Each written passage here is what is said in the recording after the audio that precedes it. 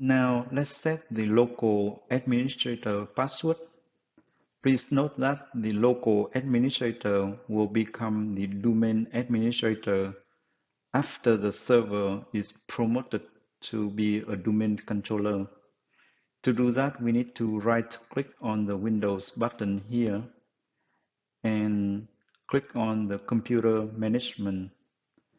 Then click on the local users and group and click on the users. Here we right click on the administrator account and set password. Click proceed. Type in the new password